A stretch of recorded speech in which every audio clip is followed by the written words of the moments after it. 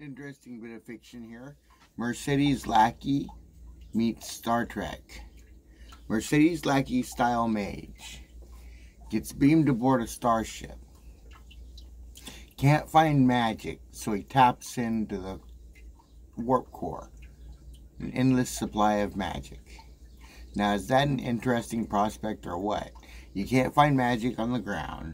You can't leech magic from somewhere else attached to the warp core. If you're powerful enough, why not? Is that a that a cool idea or what?